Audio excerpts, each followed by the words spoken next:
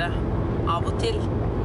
Eh, Jeg har hørt at det er litt annerledes. Altså, Ifølge fagpersoner så er jeg en håpløs, sinnssyk og hjerneskada eks-narkoman. Jeg har emosjonell ustabil personlighetsforstyrrelse.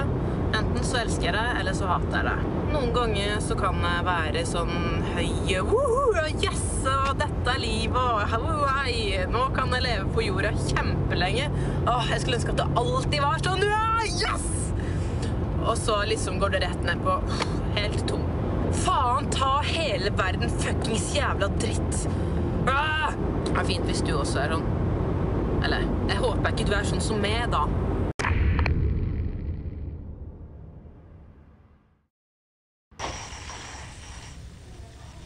Hei, nå har jeg nettopp kommet til post C. Og ganske lite rom. Og det styggeste badet jeg noensinne har. Helt forferdelig.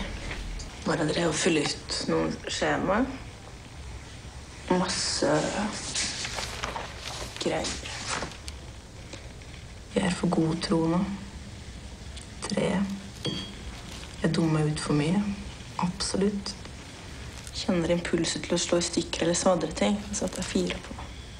Bla, bla, bla, bla, bla. Og så har jeg sett litt gjennom det, og jeg har funnet ut at det de kommer til å si til meg nå, det er at Ida, du er litt usikker for tida. Og du er litt rar. Men ellers så er du helt frisk. Nå har spist seks brødskiver med eggerøre til lunsj. Nå møtte jeg ham. Sitter en psyko ute og spiller puslespill. Skal gå og filmer. Hasj det gjør noe med humøret. Jeg føler meg bedre om dagen når jeg ikke røyker Altså. Kaffemaskin. Nå er det snart lunsj. Om en time. En time etter det så er det samtale. En samtalegruppe. Mens vi kan snakke til hverandre om problemene våre og forsøke å få det ut. Jeg har fått vite at jeg kanskje er psykotisk. Mm. Jeg vet i hvert fall at jeg føler meg ikke gal. Jeg føler meg rar. Men jeg er visst gal.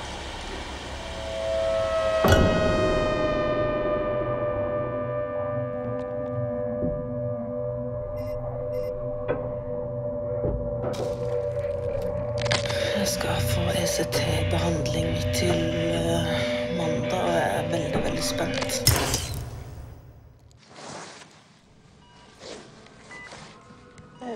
Hva som har skjedd. Jeg er på sykehuset, og de Jeg vet ikke hva som skjer.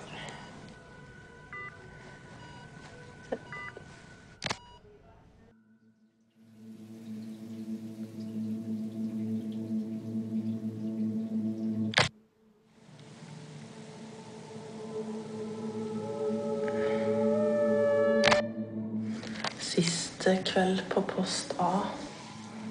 Takk Gud for det. I morgen så skal jeg på post C. Og endelig få litt hjelp igjen. Jeg føler ikke at jeg har noen framtid lenger. Ikke sånn som det er nå, i hvert fall.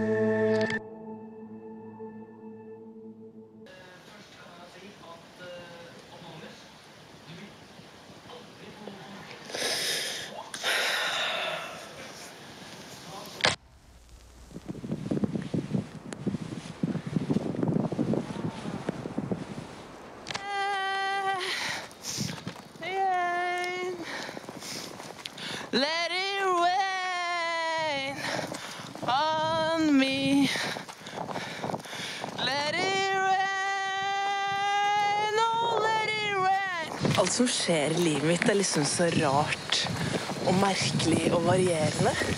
De reisene jeg har hatt oppi huet mitt, de er helt syke. Altså, Nå har det jo seg sånn at jeg er på vei opp til psykiatribordet min, da, men la, la, la. But anyway. Uh, ja, nå er jeg fortsatt på vei opp, men jeg har bare så mye jeg er nødt til å fortelle deg, da. Som du kan se på når de vonde, dårlige periodene kommer igjen. Jeg har vært så langt ned for bundet jeg kan komme omtrent. Men jeg er kommet opp igjen. Og hvis jeg får tårer i øynene nå, så er det ikke sånne lei seg-tårer, det er gledestårer. Jeg merker at det svinger noe voldsomt. Og så føler jeg meg aldri god nok til noen ting. Og så føler jeg hele tida at de rundt meg og Helene og Camilla og mamma og At alle går rundt og venter på at jeg skal bli frisk. At det liksom skal bli normalt. Det er jo liksom det de har gjort i flere år. Liksom Venta på at jeg skal bli bra, at jeg skal bli frisk. Og så prøver jeg liksom å streve etter å være god nok. Nå er jeg jo jeg meg ikke, ruser meg ikke, men allikevel så ah.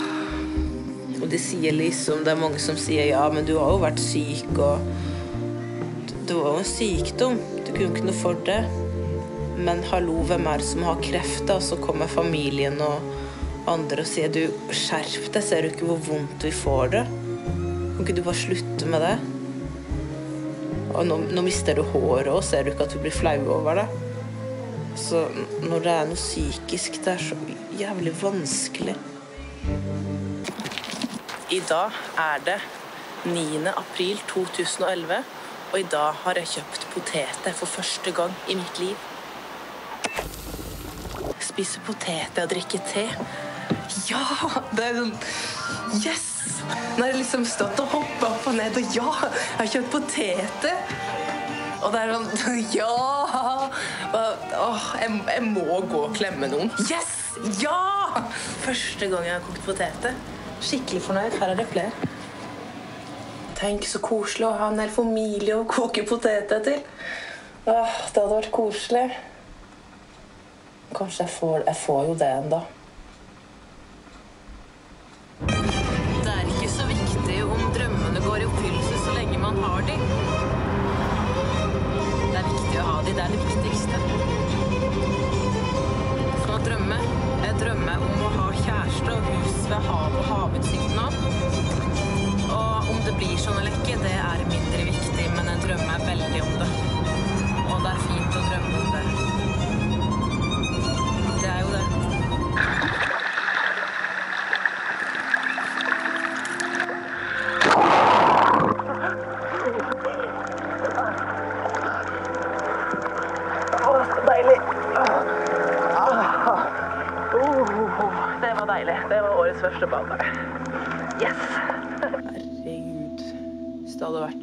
Teller, hadde ikke jeg hatt noe særlig opp og kutta meg i ansiktet og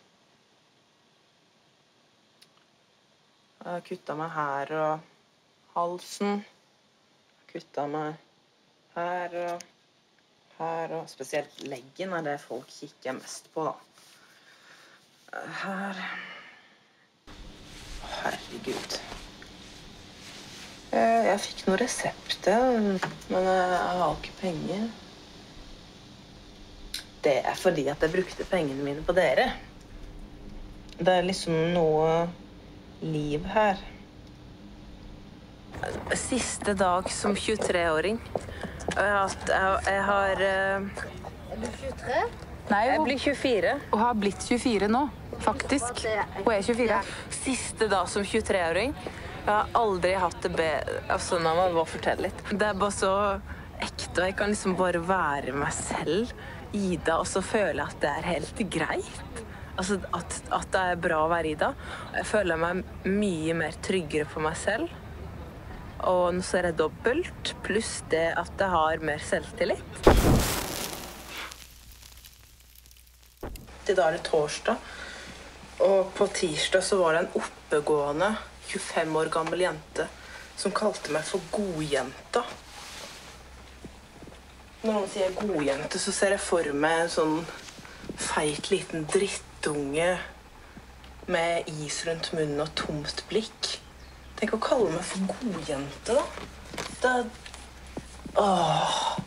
Jeg har prøvd å fokusere på noe men det går liksom om og om igjen inni hodet mitt. Godjenta, hva faen er det for noe? Godjenta. Ja, nå er klokka fem. Får se om det er bedre i kveld. Om har klart å få det ut av huet. God jente. Det, det satt seg. Hun skulle sagt jævla drittkjerring til henne tilbake. Skulle hun sett åssen hun hadde følt seg da. God jente. Nå er det kveld, og det går bedre i forhold til det med godjenta og alt sammen, egentlig. Har bare med min for tida litt dårlig selvtillit å gjøre, og utrygghet. Nå går det mye bedre. Jeg har vært så høy. Jeg har vært hos mamma. Hun er også høy i kveld, altså. 3. mai sovna Nora stille inn. Nå er det bare Michelle igjen. For noen dager siden kom pus inn i verden min. Nora ut og pus inn, og Nora inn igjen. Noe dritt at jeg skal gå rundt og Jeg ble plutselig så deprimert. Men nå har jeg jo en del ny erfaring, da. Da vet jeg at det her klarer jeg. Vet du, Nå, nå er jeg på sånn sånn som jeg var på før når jeg måtte kutte meg. Ja, jeg skal ikke det nå. Aldri mer.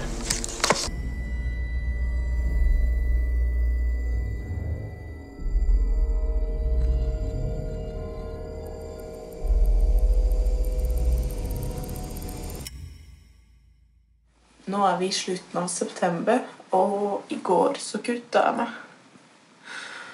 Jeg skulle aldri kutte meg og så kutta jeg meg i går. Og det er helt sånn eh, På begge armene er jeg nødt til å på legevakta nå. Det tenkte jeg når jeg la meg, at nå legger jeg meg, og så Når jeg våkna igjen, så har jeg ikke bandasje, og det var bare et mareritt. Jeg har hatt så mange sånne mareritt, og så har jeg våkna opp igjen og har ikke hatt bandasje. Men nå så hadde det, og det gjør dritvondt. Og... Faen, og så kunne jeg stoppa dette, da. Jeg er ikke tilbake. Jeg er ikke tilbake, og det orker jeg ikke. Faen, altså. Han har nettopp vært hos uh, psykiateren. Og plutselig så ble jeg bare borte. Det var liksom umulig å komme tilbake. Og så mye ondskap inni der jeg var. Og så til psykiaterne Hun sa ting, og, og jeg hørte det ikke. Jeg hørte bare at hun lagde lyd, liksom. Og så snakka jeg til henne inni huet mitt, men jeg klarte ikke jeg var, jeg var ikke i virkeligheten. Jo mer jeg prøver å skjule Nei, ikke skjule, men skyve vekk de vonde tankene og følelsene, jo sterkere kommer de. Og uansett så tar jeg liksom Jeg tar liksom alt som kritikk. Liksom leite etter alt det vonde. Det er første gang på lenge jeg har sett meg i speilet og har sett ut som Satan. Det er svart, og det er. Uh, nå må du bare gjøre det igjen, Ida, sånn at du venner deg til det. Jeg merker jo det at det er min egen Men kamera, du kan jo se at svart Den trekanten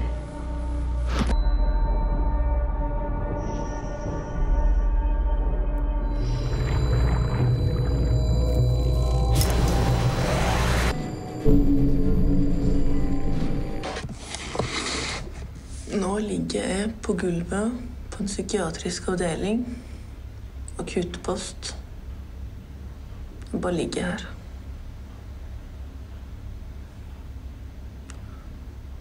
Det er bra for meg å være her.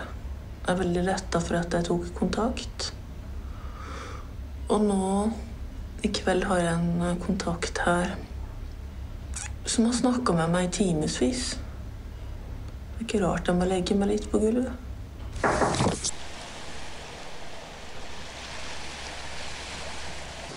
Nå er jeg på Spornes. Har jeg ikke vært på veldig lenge. Det er veldig fint her, da. Øynene kan se at det er fint. Det ser fint ut, men det føltes liksom ikke noe fint, da.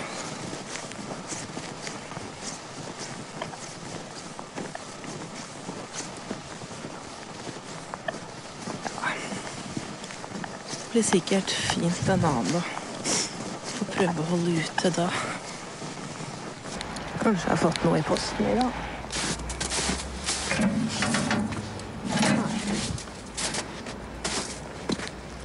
Godt å få litt luft, i hvert fall.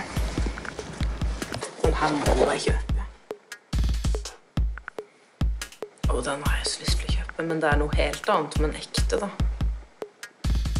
Og det er fredagskveld, og jeg koser meg med risgrøt, brus og tegning.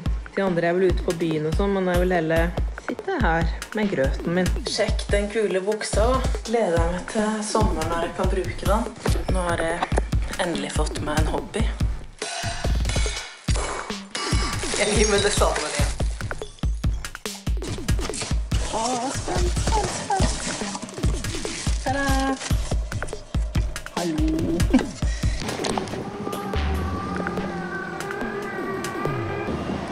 Jeg til Galdhøpiggen. Det er midt på sommeren i 2013. Og nå er jeg langt inne i landet akkurat her. Og om et døgn så er jeg på Galdhøpiggen. For noen så er det kanskje ikke så veldig stort, men for meg så er det veldig stort. For meg så er veldig mye veldig stort. Bare til og med det å være her ute. Sånn. Og det beste er at jeg klarer faktisk å nyte det uten å ha den der tunge, tunge, likegyldige følelsen inni meg som egentlig sier at det er det samme om jeg ser det på TV eller i virkeligheten. Men det her Jeg nyter det skikkelig. Og det er jeg så glad for.